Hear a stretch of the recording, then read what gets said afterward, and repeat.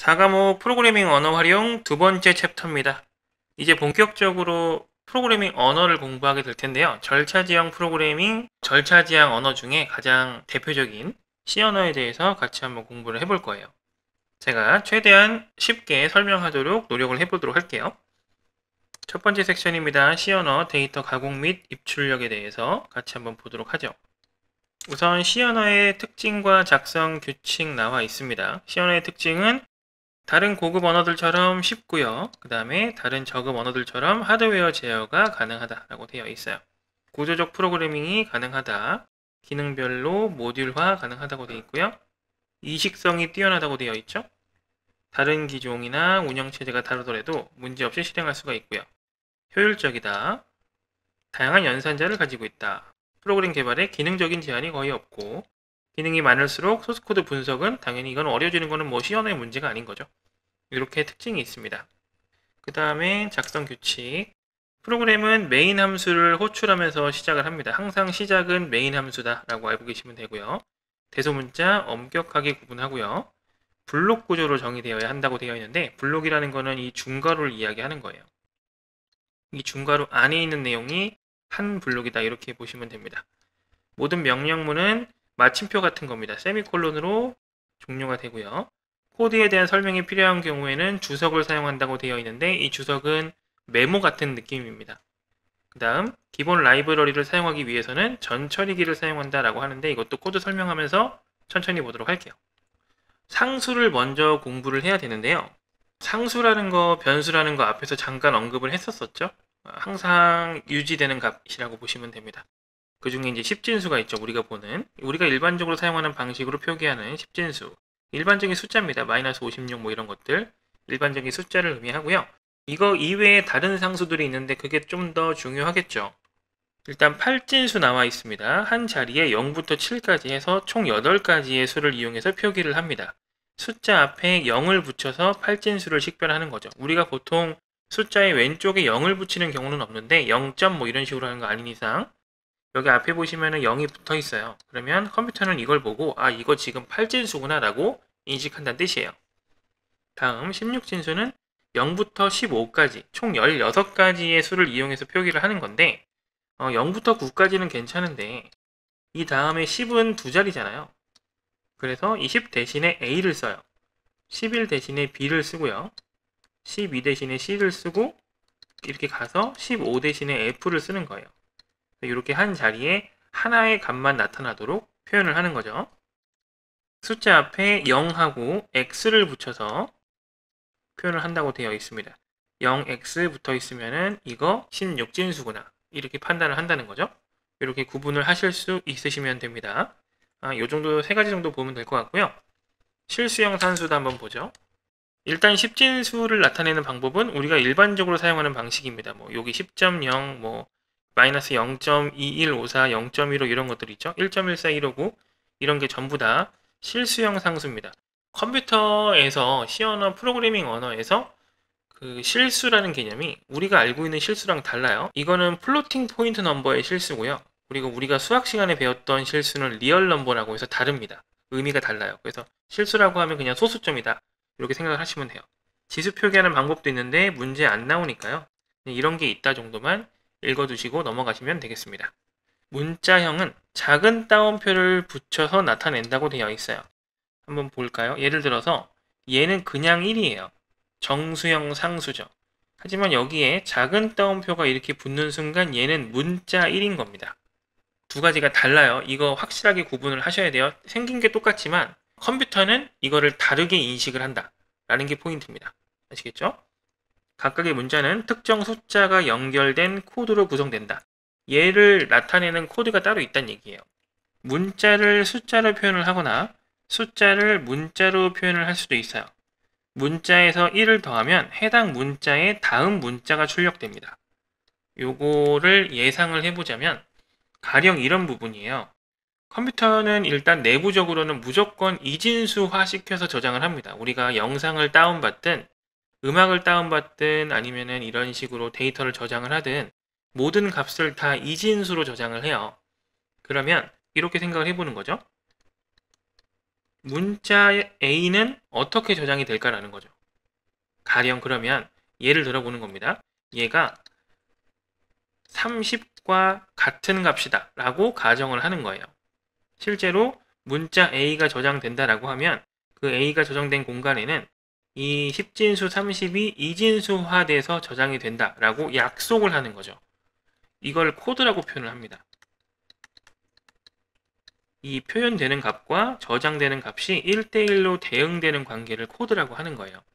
자, 그래서 실제로 A 문자 A를 저장하면 30이 저장되는 거랑 같다는 뜻이에요. 그러면 만약에 여기에 1을 더하면 어떻게 될까요? 라는 거죠. 그러면 31이 되겠죠. 그러면 31에 해당하는 문자 열 코드도 있을 거 아니에요. 말을 잘못했네요. 문자 열이랑 문자는 다릅니다. 여기 나와 있죠. 문자와 문자 열은 개념이 달라요. 다시 할게요. 31과 연결되어 있는 문자도 있겠죠. 근데 30이 A면 31은 B겠죠. 이걸 굳이 띄엄띄엄 놓을 필요가 없으니까요. 그래서 문자 A에 1을 더한 값을 그냥 숫자 형태로 출력을 하면 31인 거고요. 이 31을 문자 형태로 출력을 하면 B가 되는 거예요.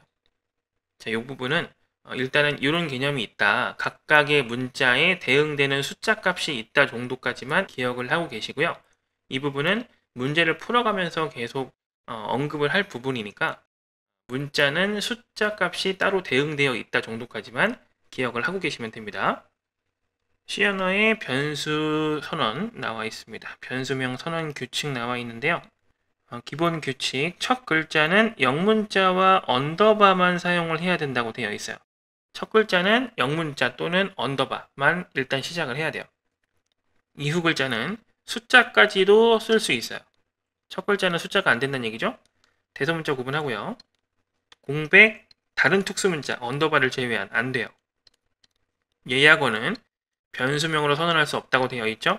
이 예약어라는 개념이 식별자 할 때 잠깐 이야기를 했었었는데 식별자는 미리 예약한 단어로 키워드로 어, 지정할 수가 없다고 되어 있었죠. 식별자 중에 하나가 변수명이고 그러니까 이건 당연히 안 되는 거예요. 변수를 사용하기 전에 초기화를 진행해야 된다라고 되어 있습니다. 이 초기화는 값을 넣어주는 작업을 이야기를 해요. 그러면 이 여섯 가지가 적용이 된 변수명이 어떤 게 있는지를 파악할 수 있어야겠죠. 문제에 나온 적이 있거든요. 봅니다. 변수명이 잘못된 경우에 얘 a to b라고 되어 있는데 여기에 보면은 공백이 이렇게 있어요. 이렇게 공백이 있어서 문제가 있는 겁니다. 지금. 그 다음에 a to b인데 이게 하이픈이 들어갔어요. 이게 underbar면 괜찮은데 하이픈은 안 됩니다. 특수문자가 underbar가 돼야 돼요.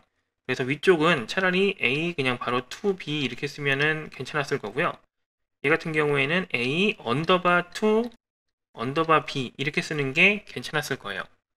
그 다음에 요거 1 to 2라고 써 있는데 요거 첫 글자가 숫자라서 안 되는 겁니다. 만약에 굳이 숫자를 쓰고 싶으면 underbar를 붙이든가 이런 식으로 하셔야 돼요. 이렇게 요거는 괜찮죠. 이 뒤쪽은 숫자가 괜찮으니까 이런 식으로 변수명이 잘못된 경우를 찾을 수 있어야 돼요. Hungarian 표기법이라고 나와 있습니다. 이 변수명이라는 게 굉장히 다양할 거기 때문에 이 변수명을 지정하는, 명명하는 방법 스타일이 다 다를 거 아니에요. 그래서 그 방법 중에 하나인 건데요. 컴퓨터 프로그래밍에서 변수 및 함수의 이름 인자 앞에 데이터 타입을 명시하는 코딩 규칙이다라고 되어 있어요. 데이터 타입을 변수명에서 바로 추정할 수 있고 변수명의 충돌을 방지할 수 있다라고 되어 있고요. 데이터 타입이 바뀌면 전체 변수명도 함께 변경해야 된다고 되어 있어요. 어, 예를 들면 정수가 인테저의 약자 int를 쓰거든요. 그러면 앞에 이렇게 쓰는 거예요. int score 뭐 underbar를 붙인다든지 이런 느낌으로 쓰는 거예요. 이러면 아 요거 정수형 데이터구나 라는 걸 바로 판단할 수 있다는 얘기죠. 이게 Hungarian 표기법인데 요즘엔 안 써요. 80년대 당시에는 IDE가 통합 개발 도구가 부실해서 이 규칙이 유용했지만 지금은 사용하지 말 것을 권고하고 있다. 굳이 이렇게 쓸 필요가 없다는 거죠. 이 통합 개발 도구에서 이런 부분을 다 지원을 해주기 때문에 자 그런데 이게 지금은 안 쓰고 있지만 적어놓은 이유가 실기에 나온 적이 있어요. 헝가리엔 표기법이 뭔지에 대해서 설명을 한 적이 있거든요. 그렇기 때문에 한번 여기다 실어놨습니다. 알고는 계셔야겠죠. 넘어갈게요. 변수 선언 자료형에 대해서 좀 보겠습니다. 변수를 선언한다는 얘기는 데이터를 담을 공간을 만들겠다 뭐 그런 뜻인데요. 변수를 담을 때 그 크기가 몇 가지가 정해져 있습니다. 내 맘대로 하는 게 아니에요. 그래서 그 종류가 뭐뭐가 있는지를 보는 겁니다. 자료형의 개념, 데이터를 저장하는 공간의 크기와 형태, 여기 크기 가가 아니라 크기 와예요. 죄송해요. 변수가 차지하는 메모리의 크기는 컴퓨터 시스템에 따라 약간은 달라질 수가 있고요. 자료형, 변수명의 형식으로 변수를 선언하여 사용한다라고 되어 있습니다. 이게 지금 메타데이터예요. 선언된 변수는 변수명, 등호, 데이터의 형태로 데이터를 할당할 수 있다. 할당도 앞에서 다뤘던 개념이죠. 실제 코드를 보겠습니다. 메인 함수가 지금 이렇게 나와 있어요. 이렇게 생긴 게 메인 함수입니다. 앞에 여기 자료형 있고 자료형 아직 안 배웠지만 함수명 있고 괄호 열리고 닫히고 여기 중괄호가 이렇게 있죠. 요게 함수예요. 함수. 요게 함수 이름이고 그래서 이걸 메인 함수라고 하는 거고 메인 함수가 프로그램의 시작이에요. 변수 선언 봐야죠. int가 정수입니다. 정수. 그 다음에 스코어가 이름이에요. 정수형 변수 score라는 거를 생성하겠습니다. 라고 선언을 하고 있는 거고요. 그 다음부터는 변수 명만 사용합니다. score는 70이라고 되어 있어요. 이거는 70과 스코어가 같다라는 의미가 아니고 score라는 공간에 70을 집어넣겠다, 할당을 하겠다라는 개념이에요. 화살표의 개념이 조금 더 강합니다. 요거 생각 잘 해주셔야 돼요. 하나 더 보겠습니다. double grade라고 되어 있어요. 더블 타입 변수 grade를 만들고 만드는 것과 동시에 3.8을 집어넣겠다, 할당을 하겠다는 뜻이 됩니다. 이런 식으로 바로 집어넣을 수도 있다라는 얘기예요. 그 다음에 return 제로 나와 있는데 이 return이라는 거는 함수를 종료하겠다는 뜻이 돼요. 그런데 메인 함수가 프로그램을 시작하는 거니까 메인 함수를 종료하겠다는 뜻은 프로그램을 종료하겠다는 뜻과 똑같은 거죠. 이렇게 보시면 되겠습니다. 아래쪽에 이 부분은 공부를 하셔야겠죠. 변수 선언에 사용되는 예약어와 생성되는 변수의 자료형 크기 다 기억을 하고 계셔야 돼요. 이게 C 언어에서와 자바에서의 크기가 약간씩 달라요. 그러니까 헷갈리지 않게 체크를 잘 해주셔야 됩니다. 이거는 뭐 암기하셔야 되는 부분이죠.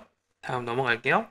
네 번째로 서식 문자열 나와 있습니다. 이 서식 문자열도 많이들 어려워 하시는데요. 한번 설명을 해보도록 할게요. 일단 escape sequence라는 거를 알고 계셔야 되는데요.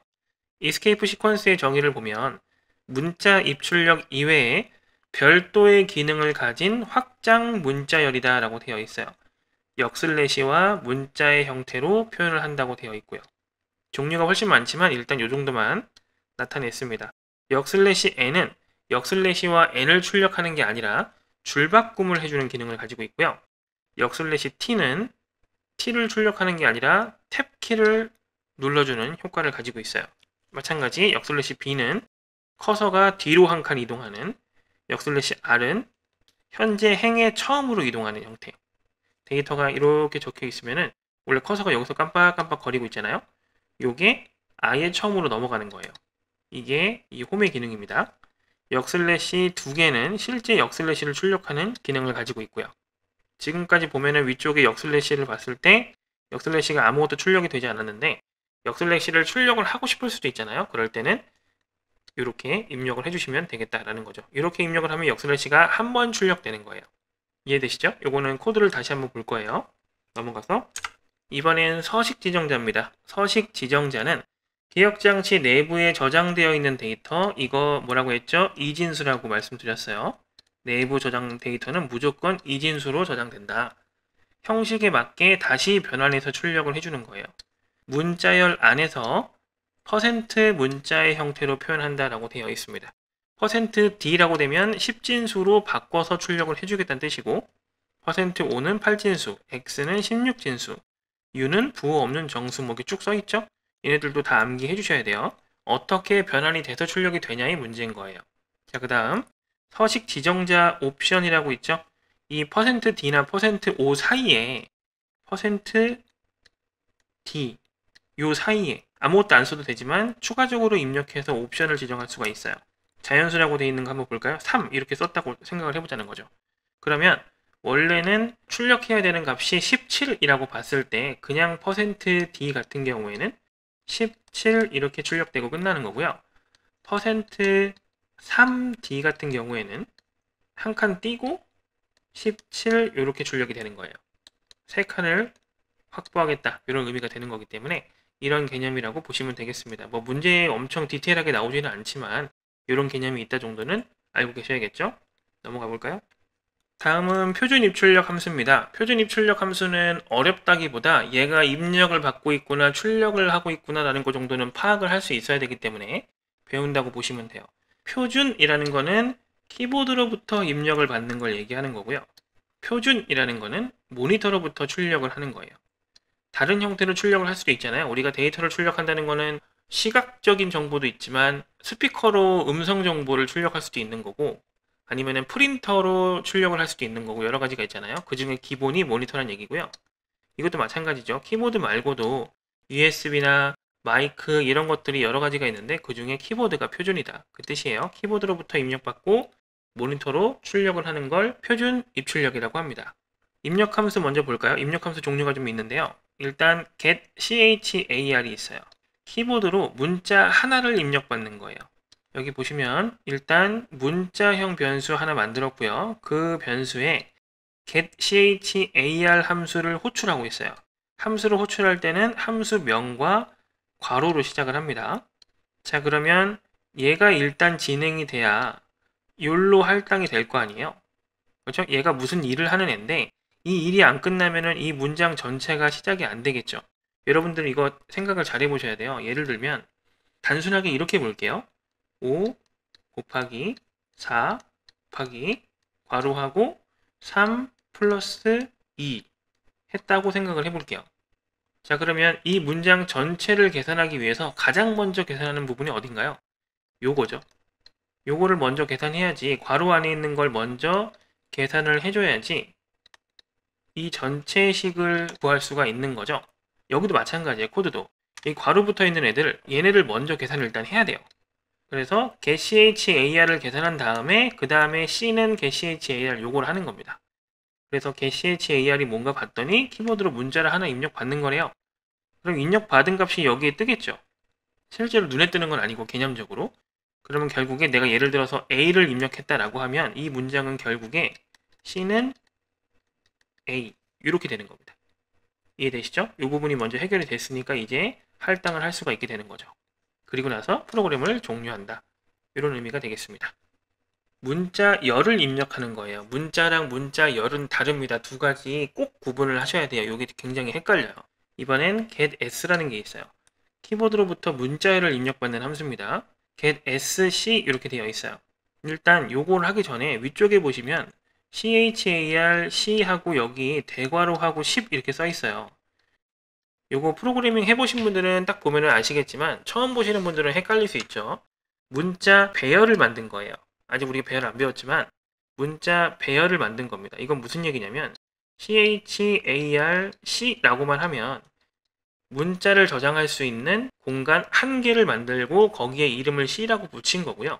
지금 같은 경우 이렇게 대괄호하고 10이란 얘기는 문자를 저장할 수 있는 공간 C를 만든 건데 이 C의 내부에 칸이 10개가 있다는 소리예요. 데이터 10개를 담을 수 있다는 소리죠. 그래서 10글자를 담을 수 있다 뭐 이렇게 이야기를 하고 있는 겁니다. 디테일하게 빠지면 이거 사실 9글자인데 뭐 그것까지는 크게 중요하지 않으니까 지금은 이렇게 여러 칸을 만들 수 있다. 이런 걸 배열이라고 한다 정도만 인지하고 넘어가시면 됩니다. 그리고 또 중요한 게 얘 같은 경우에는 아까처럼 아까는 이런 식으로 했었거든요. 쓴다고 치면 잠시만요. get s 이런 식으로 했었어요. 근데 지금 형식이 다르죠. 이런 형식은 공부를 해주셔야 돼요. 이건 어쩔 수가 없죠. 그래서 이렇게 하는 게 아니라 써 있는 것처럼 get s하고 요 c가 요 안으로 들어가 있다. 요거를 구분하실 수 있으셔야 돼요. 이렇게 하는 게요 get s를 사용하는 방법이에요. 아시겠죠? 여기 형식이 나와 있는 겁니다. 그래서 어쨌든 이렇게 하게 되면은 문자 열을 입력받을 수가 있다. 라는 개념이 됩니다. 네, 그래 놓고 프로그램을 종료하고 있죠. 이런 식으로 문자 열을 입력받을 수가 있다. 라는 거고 입력받을 수 있는 방법이 하나 더 있어요. 이 서식 문자열을 훨씬 더 많이 쓰는데요. 스캔F 함수입니다. 지정한 서식대로 키보드로부터 데이터 입력을 받는다고 되어 있는데요. 이 지정한 서식이 아까 봤던 그 서식 문자를 얘기하는 거예요. 10진수를 입력받겠다, 뭐 16진수를 입력받겠다, 문자를 입력받겠다 그 의미를 얘기하는 건데요. 코드를 보면서 좀 더 자세하게 이야기를 해보죠. 여기 보시면은 그레이드라는 변수 하나 만들고 있고요. 스코어라는 변수를 만들고 있어요. 각각 문자형이고 실수형이에요. 설명 나와 있죠? 띄어쓰기로 구분해서 점수와 학점을 입력받고 라는 부분이 있어요. 그게 이 부분입니다. 작게 보면 좀 헷갈릴 수 있으니까 좀 크게 하겠습니다. 이렇게 볼게요. 띄어쓰기로 구분해서 점수와 학점을 구분한다. 여기 써 있어요. 큰 따옴표 안에 보시면 여기 여기 퍼센트 %lf 있고요. 그 다음에 띄어쓰기가 딱 되어 있고 퍼센트 %c 이렇게 있습니다. 자, 그건 무슨 얘기냐면 어, 사용자가 어떤 값을 입력을 할 거 아니에요. 예를 들어서 3.0 띄고 A 하고 엔터를 딱 쳤어요. 그러면 실질적으로 들어가는 값은 이 값이란 말이에요. 그러면 이 값을 무조건 이 형태로 인식을 하겠다는 거예요. 가령 사용자가 3.0이 아니라 3을 썼다고 생각을 해보죠. 그러면 일단은 공백이 여기 있고 왼쪽 오른쪽에 숫자가 있으니까 얘는 이쪽이고요. 얘는 이쪽이잖아요. 그러면 얘는 지금 정수죠. 하지만 언어는 무조건 실수로 인식해서 받아들일 거야 라고 하고 있는 거예요. 그럼 얘는 저장을 할 때 3.0으로 저장됩니다. 무슨 얘기인지 아시겠어요? 사용자가 어떤 마음으로 입력했는지는 C 언어는 중요하지 않아요. 입력값이 이렇게 들어갔고 나는 무조건 실수로 받을 거야 라고 이미 정해놨기 때문에 얘는 무조건 실수 형태로 들어가는 거예요. 마음이 중요한 게 아닙니다. 내가 이런 식으로 입력했다라는 게 중요한 게 아니에요. 자, 그래서 결국에 어쨌든 얘는 3.0이 되는 거고요. 얘는 문자 A가 되는 건데요. 이 상태에서 요 각각의 값을 여기랑 여기에 집어넣어 주겠다라는 의미가 되는 겁니다. score랑 grade는 아까 변수 선언을 했죠. 그래서 첫 번째 값은 여기로, 두 번째 값은 여기로 들어가겠다는 거죠. 이런 식으로 진행이 된다라고 알고 계시면 됩니다. 그런데 여기서 주의할 점은 이 스코어 앞에 grade 앞에 각각의 변수명 앞에 요 and 기호가 있는데요. 이 and 기호가 반드시 붙어야 돼요. 이거는 공식입니다. 형식이니까 암기를 하셔야 돼요. 아시겠죠? 뭐 문제에 나오지는 않겠지만 이런 디테일한 부분까지 공부를 같이 하셔야지 나중에 헷갈리질 않아요. 이런 식으로 사용을 할 수 있는 함수다라고 보시면 되겠습니다. 넘어가 볼까요? 입력 함수 봤으니까 이제 출력 함수 봐야겠죠? 출력 함수 한 문자를 출력하는 방법입니다. 아까는 get이었는데 이번엔 put이네요. put char 하면은 문자를 모니터로 한 문자를 출력하는 함수다라고 되어 있어요. 여기에 문자를 저장한 변수를 적어 놓거나 아니면 실제 문자를 적어 주시면 돼요. 그 다음 문자 출력하는 거 마찬가지죠. 여기에 문자열을 기록하시거나 아니면 문자열이 저장된 문자 배열 있었죠? 아까 이렇게 C 해가지고 이렇게 했던 거 요거를 써주시면 돼요. 어렵지 않죠? 자 그리고 마찬가지 여기서도 서식 문자열이라는 게 있어요. 자 보겠습니다. 차례차례 단계별로 한번 볼게요. 일단은 printf라는 함수에서 첫 번째 요 큰 따옴표 들어가 있는 건 빈칸이 있는 문장이라고 보시면 돼요. 점수는 %.1lf 점 역슬래시 n 학점은 띄고 %c입니다. 마침표 이렇게 되어 있죠. 한 글자씩 한번 볼게요. 실제로 어떻게 출력이 되는지를 보는 거예요. 자, 일단은 점 씁니다. 출력을 하겠죠? 이게 모니터에서 이렇게 보인다고 생각을 하시면 돼요. 수 출력됩니다. 는 출력돼요. 그리고 띄어쓰기 출력됩니다. 띄어쓰기는 구분이 안 되니까 그냥 이렇게 할게요. 그 다음에 %.1lf를 보는 거예요. 얘는 그냥 출력되지 않습니다. 역 슬래시나 퍼센트를 보게 되면 얘는 출력 말고 다른 일을 하게 되는 거예요. 자, 퍼센트를 보면 어떻게 되냐면 빈칸을 만들어 주는 거예요. 가상에. 그리고 여기에 들어갈 데이터를 찾습니다. 얘가 지금 첫 번째 퍼센트잖아요. 그러니까 이 심표로 구분된 첫 번째 값을 보는 거예요. 4.2라고 되어 있죠. 그러면 이제 4.1을 여기에다 집어넣어 주는 겁니다. 자, 그런데 어떻게 집어넣을 건지를 이 오른쪽을 보고 판단을 하는 거죠. 여기 오른쪽에 봤더니 LF라고 되어 있네요. LF라는 거는 실수란 뜻이에요. 그러면 어 이거 실수 형태로 집어넣어야 되는구나 라는 걸 일단은 판단을 합니다. 그러니까 얘는 실수고 실수 형태로 출력하는 거니까 큰 문제가 없겠죠. 형태가 다르면 문제가 생길 수도 있지만 어쨌든 그래요. 근데 만약에 %LF까지만 있었을 경우에는 실제 출력이 이렇게 될 거예요. 4. 2 0 0 0 0 0 기본적으로 소수점 아래는 6자리로 표현을 해요. 가장 기본이에요. 그런데 이거를 줄일 수가 있는 게 여기 보시면 점 1이라고 되어 있죠. 이거는 소수점 이하를 한 자리까지만 표현을 하세요라는 뜻이에요. 그렇기 때문에 이 4.2가 온전하게 이렇게 4.2까지만 들어가는 거예요. 만약에 점 2였으면은 4.20이 들어갔겠죠.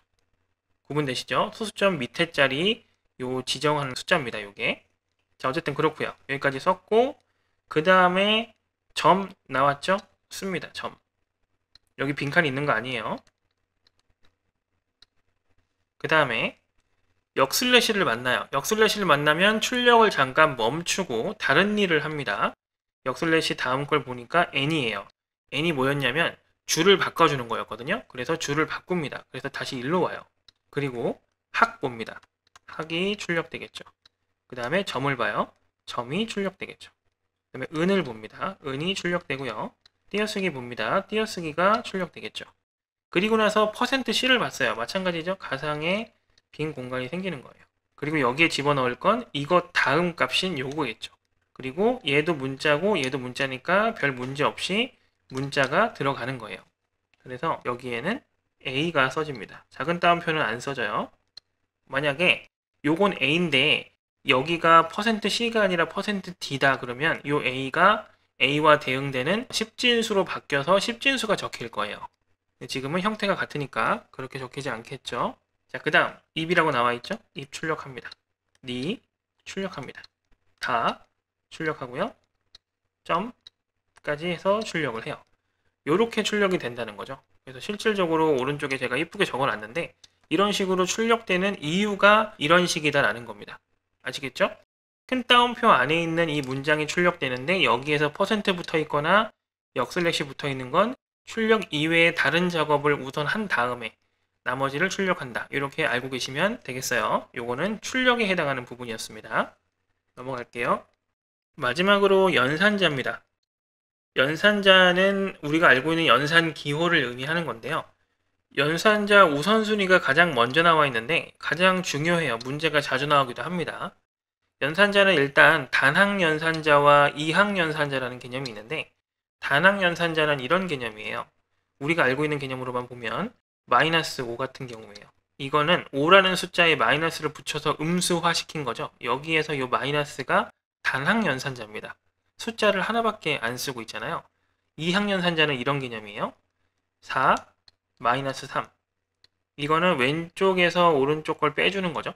이거는 같은 형태로 생긴 기호지만 얘는 뺄셈을 하는 거고 얘는 음수를 만들어주는 역할을 해요.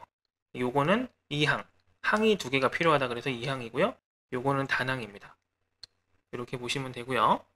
연산자의 우선순위는 일단은 연산은 우측 방향으로 진행이 되는데 괄호 안의 연산이 가장 먼저 진행이 됩니다. 이거 알고 계시죠? 그 다음에 단항 연산이 이항 연산보다 우선됩니다. 요거 외우시지 마시고 이해를 하시면 돼요. 방금 거 같이 한번 볼게요.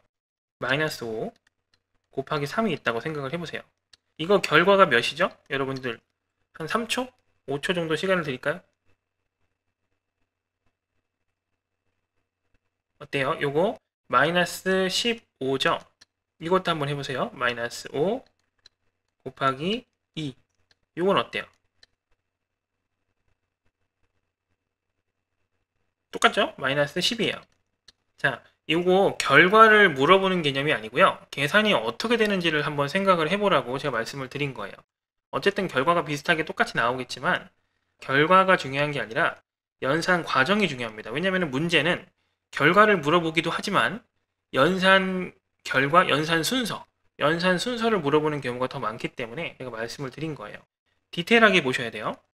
자, 봅시다. 여기서 5 곱하기 3을 먼저 한 다음에 마이너스를 붙인 거냐라는 거예요.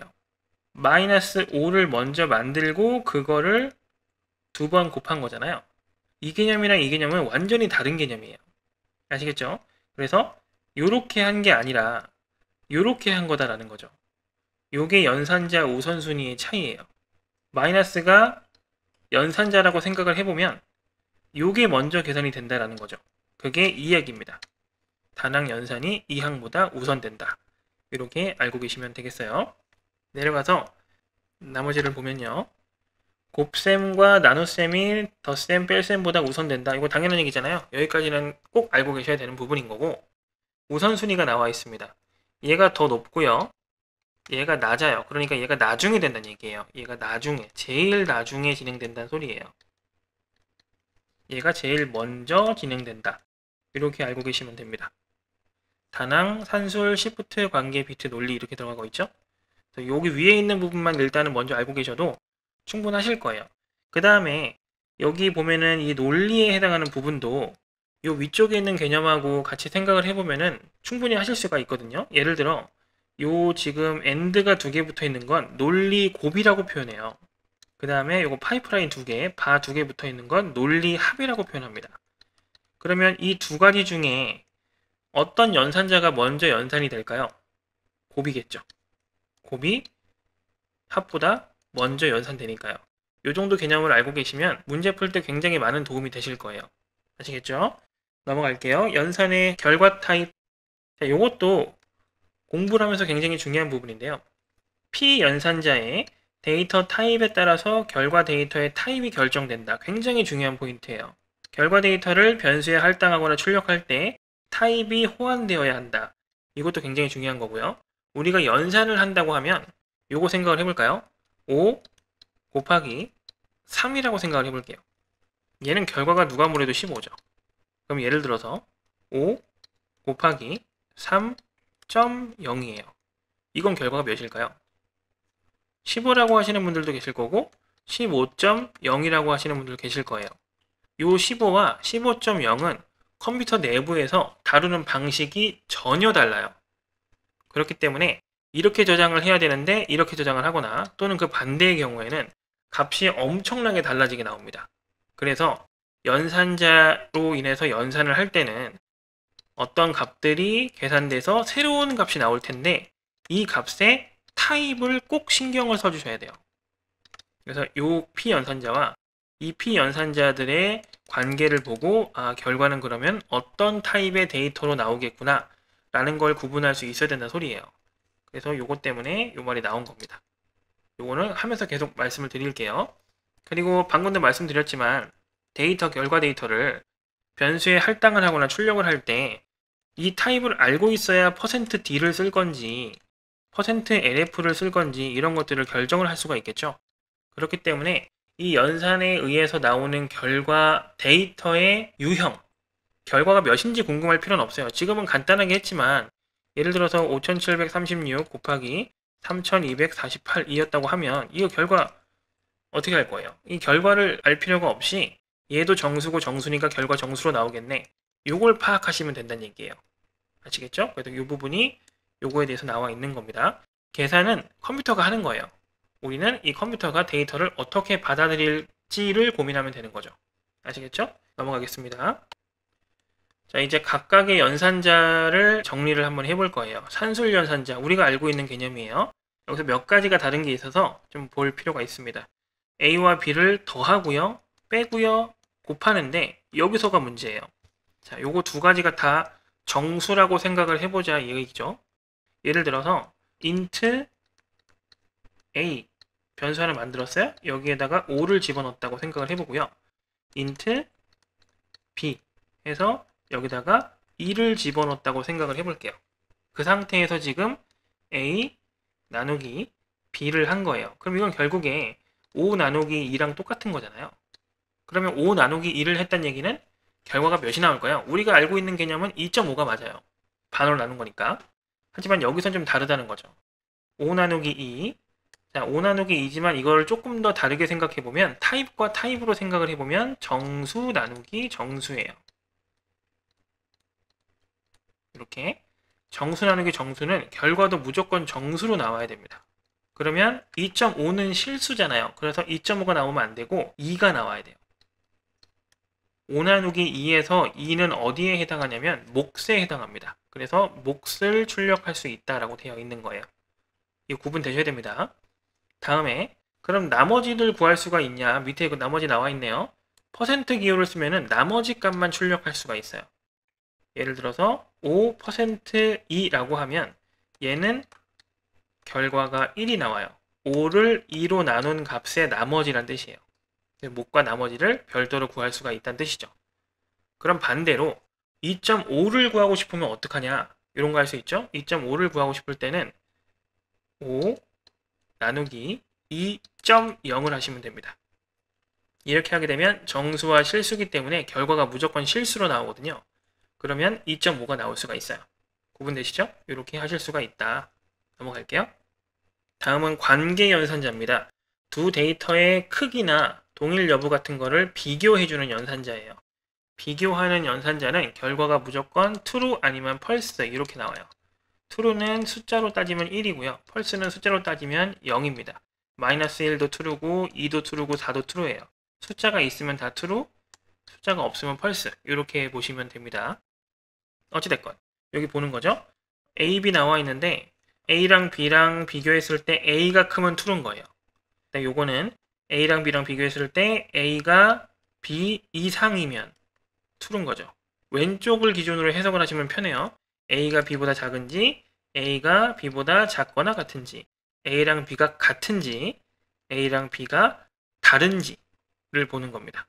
구분되시죠? 그래서 두 개가 같은지 다른지 요 식에 따라서 이 식이 참이면 true가 나오는 거고요. 이 식이 거짓이면 false가 나오는 거다. 이렇게 알고 계시면 돼요. 어렵지 않죠? 넘어갈게요. 다음으로 제가 간단하게 넣어놨는데 PHP에서 사용하는 관계 연산자를 제가 별도로 해놨어요. 이거 문제 나온 적이 있어서 제가 별도로 넣어놨습니다. 오류 억제 연산자, 배타적 논리합, 값과 타입이 모두 같은지 판단하는 거, 그 다음에 같지 않음 이런 것들이 있다 정도 알고 계시면 됩니다. 보통 연산자는 모든 언어 공통이에요. 그래서 자바든 C 언어든 파이썬이든 방금 봤던 그 연산자를 쓸 텐데 PHP는 추가로 별도로 더 들어간다. 이렇게 알고 계시면 돼요. 아시겠죠? 방금 배웠던 그리고 위 밑에서도 배울 이 내용들은 자바에서도 사용을 해요. 한번 배우시면 다 쓸 수 있는 거죠. 내려가서 좀 볼게요. 이번엔 논리 연산자입니다. 둘 이상의 논리 값을 이 논리 값이라는 거는 true false가 나오는 식을 얘기하는 거예요.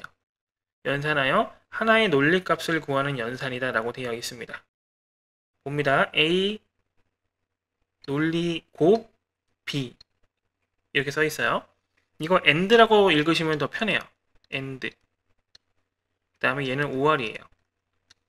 이걸로 바바라든지 뭐 end end 이렇게 공부하시기가 어려우니까 요거를 그냥 end라고 읽으시고 5월이라고 읽으시면 됩니다. 저도 그렇게 할게요. 정리를 하자면 이런 거예요. A와 B가 있다고 되어 있는데 X랑 Y라고 생각을 해보죠. X랑 Y가 있는데 X에도 어떤 값이 들어가 있고 Y에도 어떤 값이 들어가 있는데 x랑 y 값에 대한 비교를 동시에 하고 싶은 거예요. 그럴 때 이렇게 씁니다. 70 이상인지 체크를 해본다고 생각을 해볼까요? x라는 변수에 70 이상인지 체크를 해보는 거예요. 그 다음에 y라는 값도 70 이상인지 체크를 해보는 거죠. 그런데 요거 두 개가 동시에 70 이상이면 좋겠어요. 체크를 할 때. 그럴 때는 요 가운데에 요거를 써주시면 된다는 얘기예요. 그러면 얘랑 얘랑 비교해서 둘 다 true일 때 결과가 true가 나온다는 얘기예요. 하나라도 펄스면 반대로 펄스가 나오겠죠. 반대로 둘 중에 하나만 이 두 식 중에 하나만 최소 하나만 두 개가 되면 좋은데 최소 하나만 참이면 된다라고 했을 때는 발을 이렇게 붙여주시면 돼요. 이렇게 하시게 되면 하나라도 true면 true가 나옵니다. 그러니까 둘 다 펄스일 때만 펄스가 나오겠죠. 이렇게 구분을 하실 수 있으시면 돼요. 요 개념이 요 개념이에요. 그 다음에 느낌표 붙이는 거는 결과를 반전시킨다라고 되어 있죠. 얘가 만약에 true인데 여기에다가 느낌표를 붙이면 펄스가 나온다.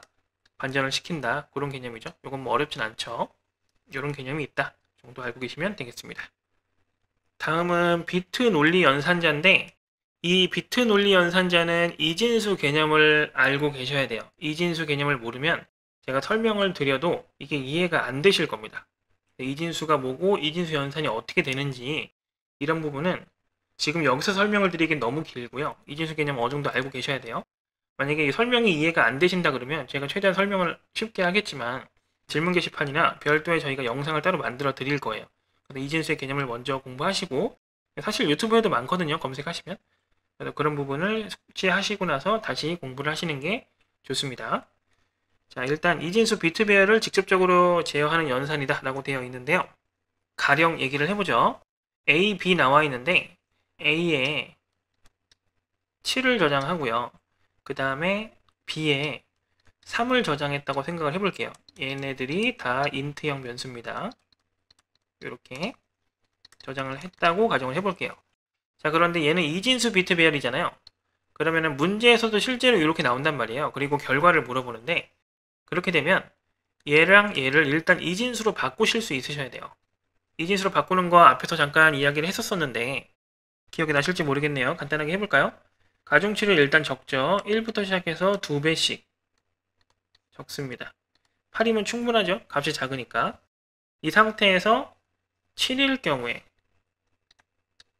값을 어떻게 표현을 해야 될지 보는 거죠. 뭐랑 뭐랑 뭐를 더하면 7이 되나요? 4랑 2랑 1을 더하면 7이 되죠. 이렇게가 이진수가 되는 거예요. 그 다음에 3 같은 경우에는 뭐랑 뭐를 더하면 되죠? 얘랑 얘를 더하면은 3이 되죠? 나머지를 0으로 채우고 이렇게 하면은 이게 이진수 3이 되는 겁니다. 3의 이진수. 자, 이렇게 보고 연산을 해본다라는 거죠. 해볼까요?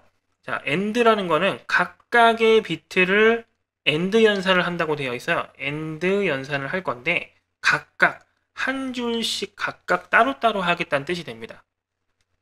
자, 그러면 AND라는 거는 둘 다 만족을 해야 true가 나오는 애거든요. 여기서는 1이라고 보시면 되죠. 둘 다 만족하니까 1, 둘 다 1, 0, 0 이렇게 되는 거예요. 곱한다고 보시면 돼요. 0이 들어가면 무조건 0이 되는 거니까. 얘가 결과예요.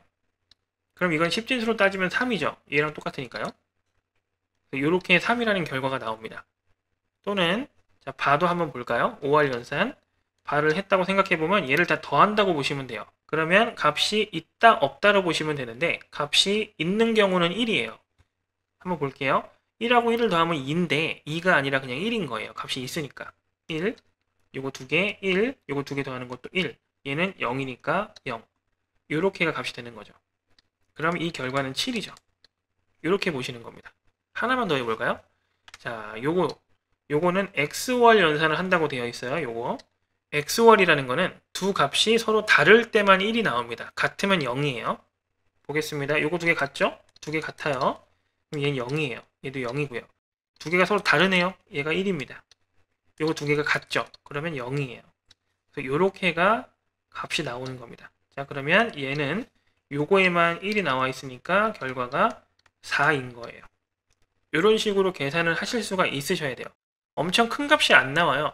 최소 한 10에서 20 밑으로 값이 들어가 있을 거고요. 할당되어 있을 거고 그 값을 AND 연산, OR 연산을 하는 이런 형태의 문제가 나오기 때문에 이 정도까지는 기억을 하고 계셔야 된다 라고 보시면 되고요. 여기 아래 시프트 연산자도 좀 볼까요? 혹시 모르실 수도 있으니까 요거는 비트를 왼쪽으로 오른쪽으로 이동한다고 되어 있는데 이런 뜻이에요. 예를 들면 1, 2, 4, 8, 뭐 이런 식으로 되어 있다고 생각을 해보고요. 값이 적혀 있다고 생각을 해보죠. 0, 0, 1, 1 이렇게 적혀 있다고 생각을 해볼게요. 자, 이 상태에서 얘가 지금 3이니까 B죠, B. 이렇게 이렇게 쓰고 1 그러면 B라는 요 비트 배열을 왼쪽으로 한 칸을 옮기겠다는 뜻이 됩니다. 왼쪽으로 한 칸 옮겨볼까요? 이렇게 잡아서 왼쪽으로 이렇게 옮깁니다. 자 이렇게 옮겼으면 이 오른쪽이 B니까 1 채워야겠죠. 자 그러면 값이 어떻게 되나요? 4랑 2를 더하면 6이 되죠. 이게 원래 값이 3이었잖아요. 근데 6이 된 거예요. 무슨 얘기냐? 곱하기 2가 된 거죠. 여기 가중치가 2배니까 곱하기 2가 계속 될 거예요. 왼쪽으로 가는 만큼. 여기 비트 연산 중에 시프트 연산에 해당하는 역할입니다. 반대로 가면은 절반으로 떨어지겠죠. 절반, 절반, 절반. 왼쪽으로 갈수록 갈수록 갈수록 두 배, 두 배, 두 배. 이렇게 하는 거다. 이렇게 보시면 되겠습니다. 이 정도 이해만 되시면은 충분하실 것 같아요. 추가로 질문사항 있으시면은 질문 게시판에 꼭 질문을 해주세요. 넘어가겠습니다.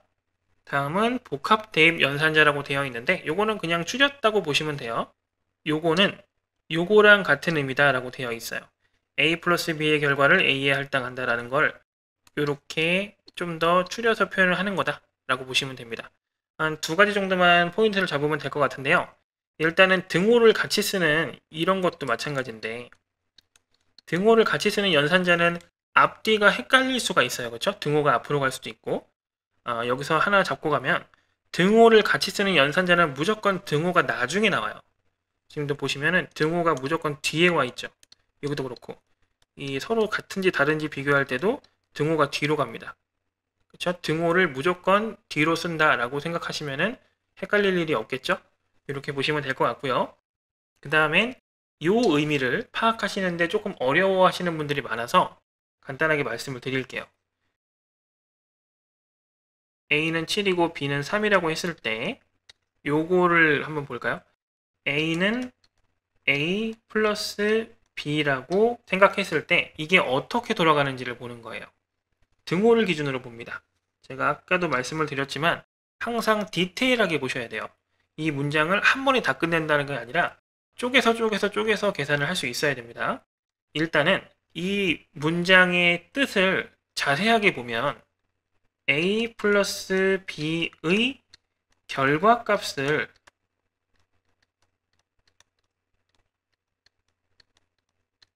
a에 할당하는 거잖아요. 그러면 가장 먼저 a 플러스 b의 결과값부터 구해야 돼요. 근데 이걸 안 구하고 a에다 집어넣으려고 하니까 어, 이 a랑 이 a랑 같은데 뭐 이런 생각이 들어가는 거죠. 그렇게 하지 마시고 결과값 먼저 구해라 라는 얘기죠. 그래서 결과값을 먼저 구해보겠습니다. 요거 이걸 먼저 일단 얘는 생각하지 마세요. 그래서 a 플러스 b만 보면 7하고 3을 더하면 결과가 10이 나오잖아요. 그럼 이건 결국에 a는 10하고 똑같은 거예요. 그러면 이제부터는 a가 똑같네 만에 이런 거 고민할 필요도 없는 거죠. 이 상태에서 이래서 a에다가 10을 집어넣을 수가 있는 거죠.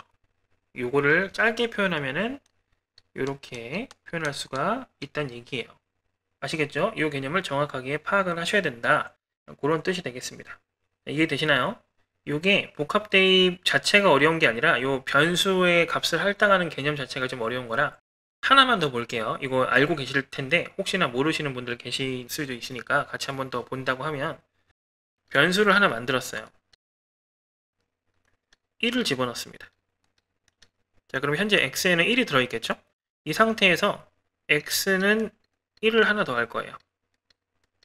이러면 x에 1을 할당한 상태로 다시 x에 1을 할당하는 거거든요. 그러면 여기가 x라고 쳤을 때 여기에는 어떤 값이 들어있을까요? 2? 이렇게 생각하시면 안 돼요. 변수는 값을 할당을 하게 되면 무조건 기존 값을 버립니다. 그러니까 1이 들어있던 값을 버리고 다시 새로운 1을 채우는 거예요. 그래서 초기화라는 뜻을 씁니다. 이렇게 그러면 x는 1이라는 문장이 아무리 많이 써 있어도 얘는 결국에 무조건 1 될 수밖에 없어요. 이 상태에서 얘를 1 증가시키고 싶으면 어떻게 해야 되냐라는 거죠. 그럴 때 복합 대입 연산제를 이용하시는 거예요. 어떻게 하면 되냐면 1에다가 1을 더한 다음에 집어넣는다 이런 의미가 되는 거죠. 그래서 x는 x 플러스 1을 하시는 거예요. 그렇게 되면 아까도 설명했듯이 얘를 일단 먼저 계산을 해야 되니까 x 플러스 1은 결국에 1 플러스 1이 되는 거고 이 문장은 결국에 x는 2가 되겠죠. 그러면 얘가 들어가는 거예요. 얘가 2가 되겠죠. 그리고 나서 이 문장을 또 써요. 그러면 어떻게 돼요? 이때 x는 2잖아요. 그러니까 이 결과값은 3이 되는 거고요. 결국에 이거는 x는 3과 똑같은 의미가 되는 거죠. 이렇게 되면 변수값을 1씩 증가시킬 수가 있어요. 이럴 때도 사용이 됩니다. 요거 생각을 잘 해주셔야 돼요. 요 문장 굉장히 자주 나와요. 아시겠죠? 증가를 할 때는 1만 증가를 할 수도 있고 2씩 증가를 할 수도 있고 10씩 증가를 할 수도 있는데 보통은 1씩 증가하는 게 굉장히 자주 나옵니다. 그래서 그거 전용 연산자가 따로 있어요. 요거까지 같이 한번 보도록 하겠습니다. 전치, 후치, 증감, 연산자라고 되어 있습니다. 전치는 코드를 실행하기 전, 문장을 실행하기 전에 증가를 또는 감소를 시킨 다음에 진행하는 거고요. 후치는 진행한 다음에 증가를 시키는 거예요. 이것도 마찬가지예요. 디테일하게 보시면 어렵지 않아요. 이거를 통째로 생각하시니까 어려운 거예요. 자, 계산식 보겠습니다. 뿔뿔이라는 연산자랑 마이너스 마이너스라는 연산자가 있어요. 이거 마마라고도 하는데요. 어쨌건 이런 식으로 계산을 하는 거예요. b 플러스 a 뿔뿔 이렇게 붙어 있죠. 자 그러면 요 뿔뿔이라는 거는 값을 하나를 증가시키는 거기 때문에 단항 연산자예요. 단항. 자 단항 연산자는 뭐라고 했었죠? 요 2항보다 먼저 연산이 된다고 얘기를 했죠. 근데 여기서는 약간 달라요. 일단은 뿔뿔이라든지 마마를 빼고 생각을 해보면 됩니다. 그러면 요거 먼저 계산이 되는 거죠. 이렇게 여기도 마찬가지예요. 요렇게 먼저 계산이 되는 거예요. 여기도 마찬가지 요거 먼저 요거 먼저 일단 계산을 한다고 보는 거죠. 그렇게 되면 결국에 b 플러스 a는 무조건 하는 겁니다. 여기 b 플러스 a가 나와 있죠. 죄송한데 요게 원래 두 줄로 나와 있어야 되는데 인쇄가 잘못됐네요. 죄송해요. 네, 제가 이게 끊어 드릴게요. 위아래가 다른 줄이 돼 있어야 돼요. 죄송합니다. 요게 두 번째 줄이에요. 요게 요게 두 번째 줄입니다. 자, 그래서 천천히 한번 보도록 할게요. 우선 첫 번째, 뿔뿔은 더하는 거예요. 증가를 시켜주는 거죠. 그러니까 A 값을 증가시켜주는 겁니다. 얘도 A 값을 증가시켜 주는 거고요. 이 마마 같은 경우에는 감소죠. A 값을 1 감소시켜 주는 거고 이것도 A 값을 1 감소시켜 주는 거예요. 그런데 증가건 감소건 요 뿔뿔 마마 요 기호가 이 대상의 오른쪽에 있는지 왼쪽에 있는지가 다르죠. 자, 그래서 오른쪽에 있을 때는 나중에 하는 거예요. 그 다음에 왼쪽에 있을 때는 먼저 합니다. 언제건 1을 증가시켜 줄 건데 b 플러스 a를 계산한 다음에 a 값을 증가시켜 주는 거고요. 얘 같은 경우는 b 플러스 a 하기 전에 a 값을 일단 증가 먼저 시킨 다음에 진행을 하겠다는 뜻이에요. 밑에도 마찬가지죠. 요거 뒤에 있으니까 b 플러스 a를 먼저 해요. 그 다음에 a 값을 1 감소시키는 거고요. 얘 같은 경우는 a 값을 먼저 감소시킨 다음에 b 플러스 a를 하는 거다 라는 개념이죠. 다시 정리를 하자면 a 값을 증가하거나 감소시키는 거는 언젠가는 합니다. 무조건 하는데 이 원래 계산식을 한 다음에 할 건지 계산식을 진행하기 전에 할 건지에 대한 차이라는 얘기예요. 이건 문제에 굉장히 자주 나오는 부분이기 때문에 문제를 풀면서 계속해서 말씀을 드리도록 할게요. 이거 굉장히 중요합니다. 꼭 숙지를 하고 계세요.